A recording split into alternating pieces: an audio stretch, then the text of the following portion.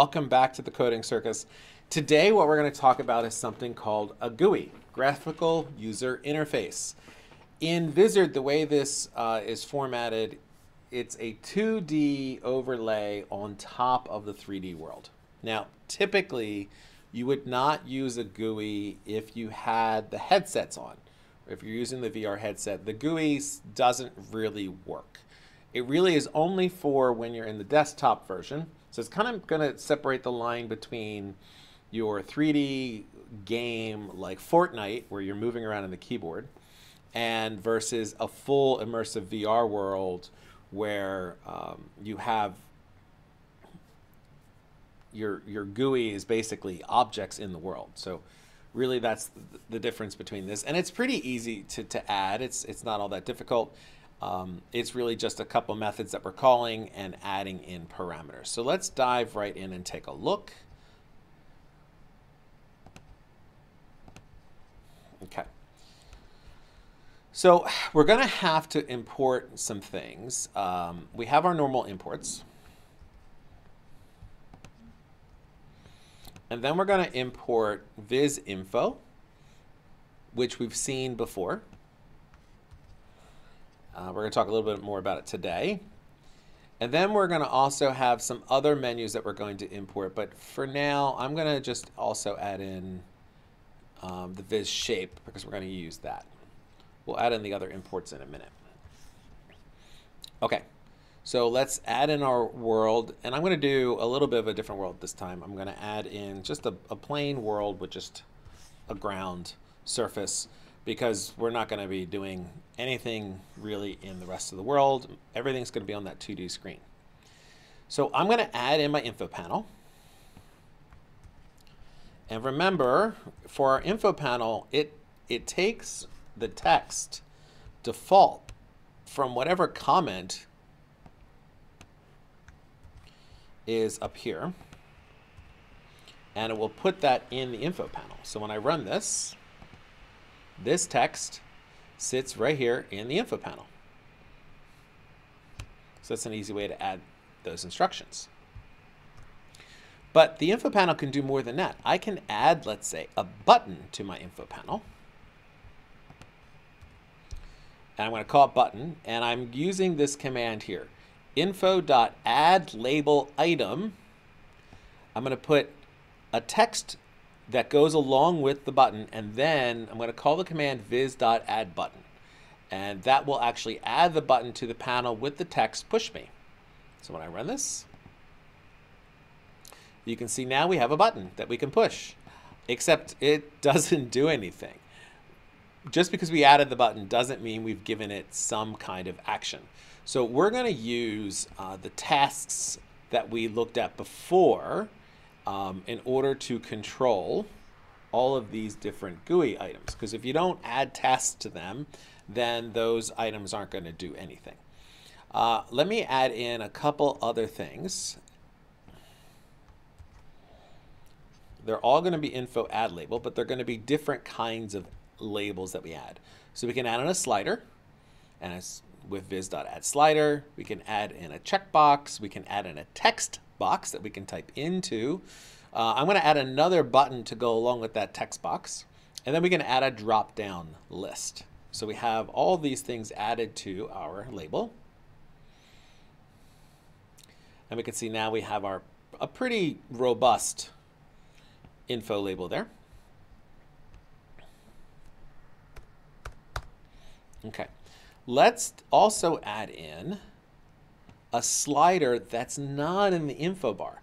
So you don't have to add things. You can add any one of these things, the text, the checkbox, the, um, the slider, all of them outside the info box just by using that add progress bar and then setting the position of the progress bar somewhere on the screen. So we don't have to use um, the slider uh, or the progress bar or the text box inside the info box. We can put it somewhere else. Uh, so I didn't put a progress bar inside of my info box. This is something different. So I'm going to put that and relaunch. And notice it puts the text how much inside my progress bar here. Just be like a loading bar. I can change the value. And I'll show you how to get all that information in a second. Okay. So let's add in some functionality to handle the events. So the first functionality I'm going to add is a method that is going to print the value that the slider is at. I have to do some math here. So the slider is going to send a value uh, and it's going to be a position. I'm going to convert it to a percentage by multiplying it by 100 because it's going to be a value between 0 and 1. So I'm going to multiply it by 100, add a percentage sign, um, get rid of the decimals by casting it as an integer and converting it to a string. So it's now just going to say a percentage. And I'm going to set the progress bar to the same value as the slider. So I'm going to do my progress bar dot set its position. Now we just got to get an action. So remember one way we did actions is with the vizact command. And vizact has built-in actions, and one of them is on slider. So when the slider changes, remember we have on keyboard, this is on slider. When the slider changes, we're going to call, um, when this slider changes, the one that's called my slider, we're going to call the method slider changed. So let's take a look at that and see what happens. So now when we look at it, I change the slider, we can see the progress bar is moving, but also on the screen, I'm getting a printout of the percentage of which we are at on the slider. So they're linked together. Now, the progress bar can still be used independently, it's, but it doesn't have any effect. Uh, we if you were doing a real game, you might want to make it so the person can't click that and change that. So that's one way, just a reminder of how to add in some events. Uh, the on slider change is one of them. Now, I'm also going to say the progress bar could change.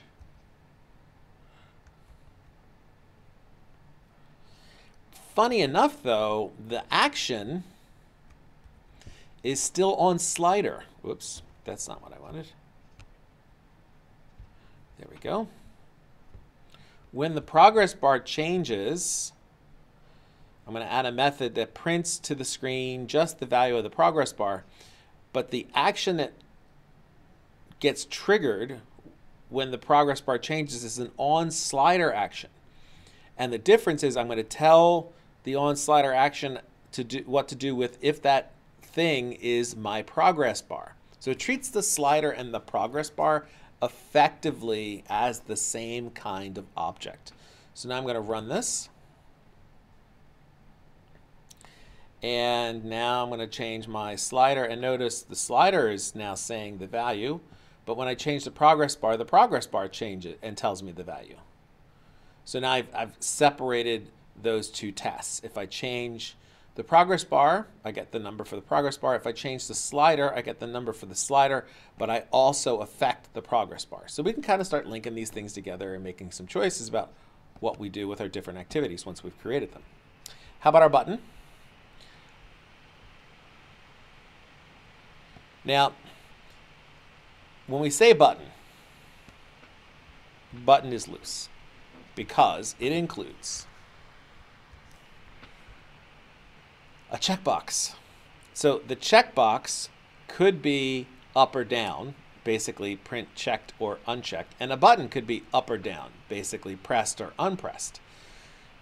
The computer um, treats them exactly the same. So I'm going to add a callback event this time.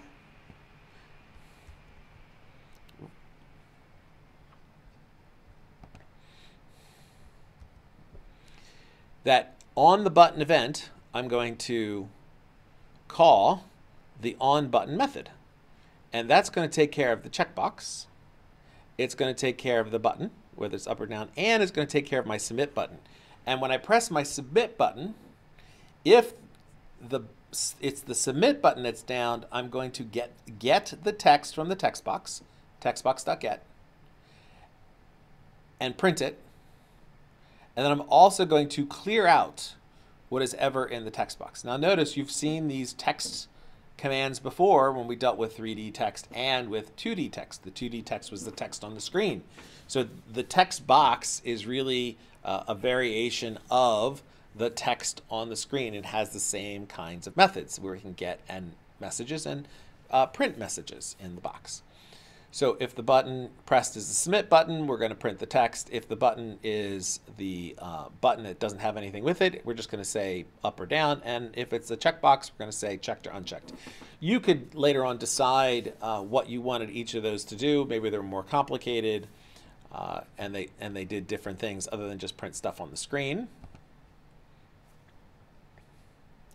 You're a user, so now we're going to push the button and we can see pressed and up my slider still works. Checkbox, checked, unchecked. I can type in the text box, hello world, and then submit it. And it says hello world. And of course, I still have my selection box, which we have to look at. Let's go and take a look at that next.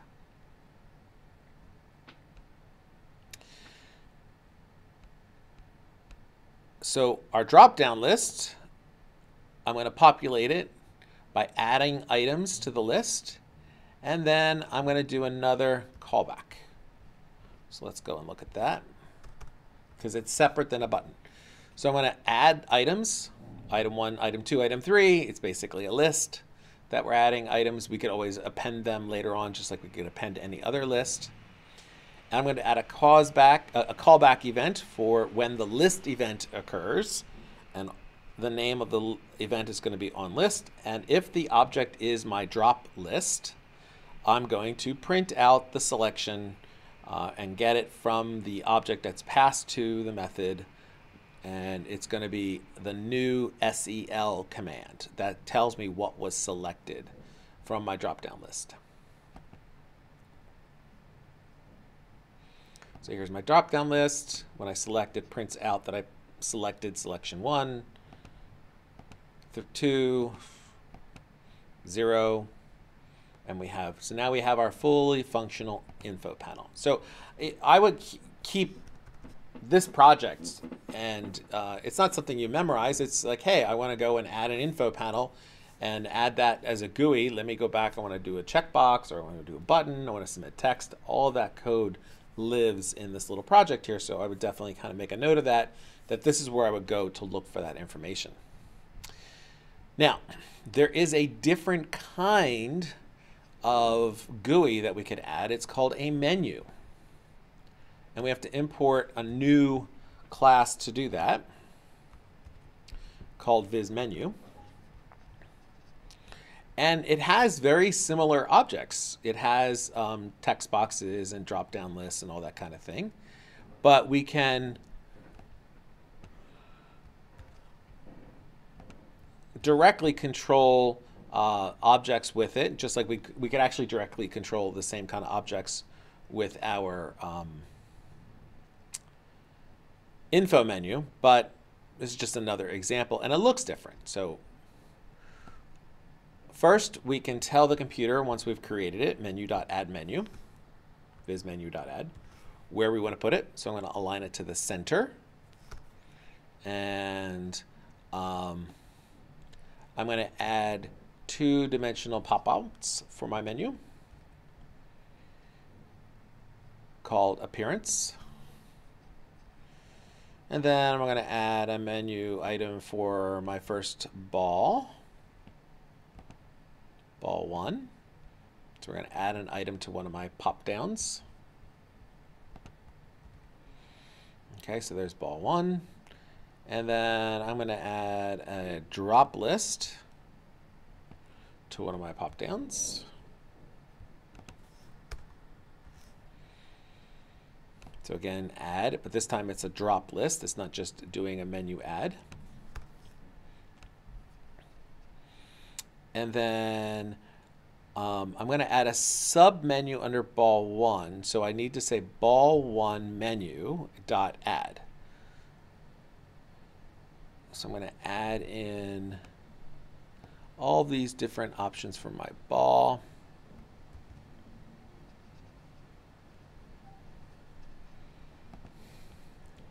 There we go. I want to be able to change the color. Uh, and then in that color menu, I'm going to choose red, white, or blue. And those are going to be radio buttons. So I'm going to do viz.radio. It's going to make more sense when you actually see it run. And then I'm going to also add in a slider to my menu.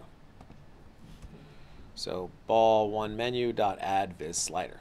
And that adds a slider and it's going to be called size. So when I run this, you'll see my menu appears across the top as a drop-down menu. It's called the appearance menu. Then I have my ball one menu, and then I have a pop out from color, red, white, or blue, and then I have my slider. So we're structuring one thing within another. So if you want this kind of menu versus this kind of menu, uh, you would use the Viz menu feature in order to get this kind of menu. Let's add in um,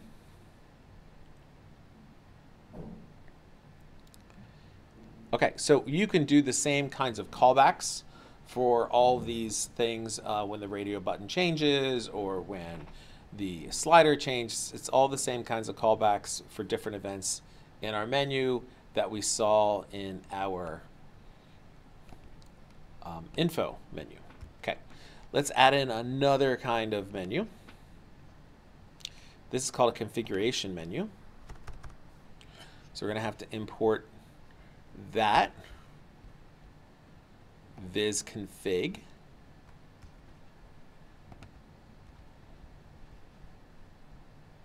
just another kind of menu lots of options when you're doing a graphical user interface here this is not even going to be all of them I'm going to show you several of them but we're not even going to get through every possible way but I think the ones that we're showing are the most important and I'm going to add in a ball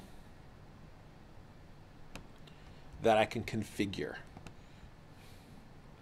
So we're going to add in a sphere that we're going to be able to configure and put that in the space.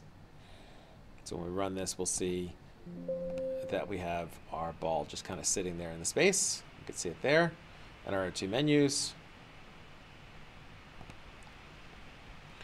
And now I'm going to create a configuration for the ball. And the way I do that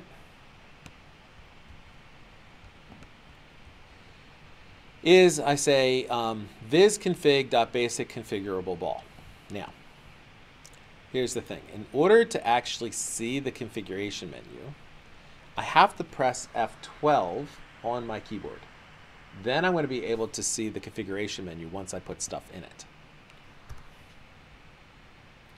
So I'm going to add an item and call it uh, visible to my configuration menu.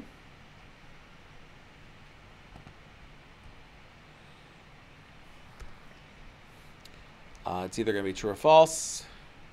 I'm going to add in an alpha channel. Basically uh, changes the transparency. And I'm going to add in a radio button that lets me change the color. Okay, so now I've added those options to my menu nothing's going to happen yet because other than different um, different than other menu systems, I have to register this in the configuration menu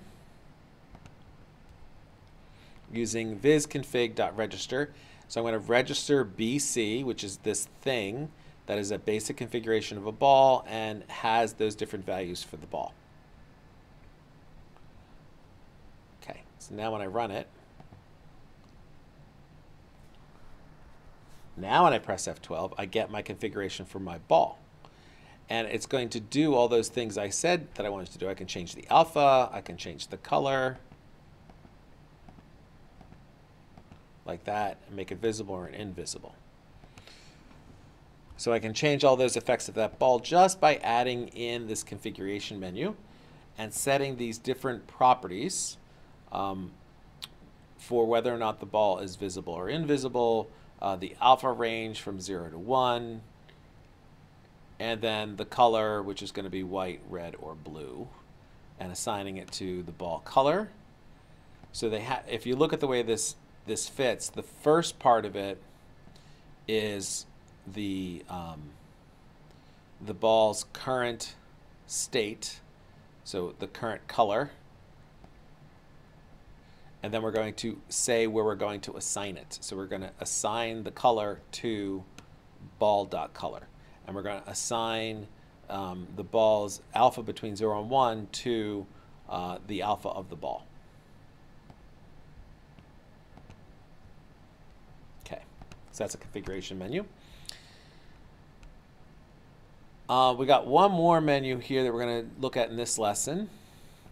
It's it's called a, a dialog menu. I'm not crazy with the fact that they called it a dialog menu because there are other kinds of dialog menus that are like pop-up dialog menus that you're probably used to. So we're going to import viz dialog.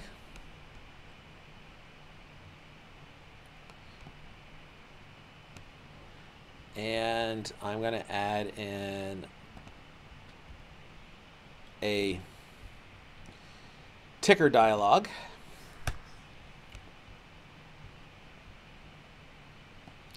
And I'm going to add two more components to it. P1, P2, P3. One's going to be circle, one's going to be a crosshair, one's going to be um, a border.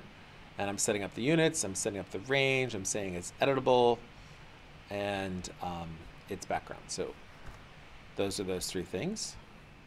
Then I need to say where the panel's going to be.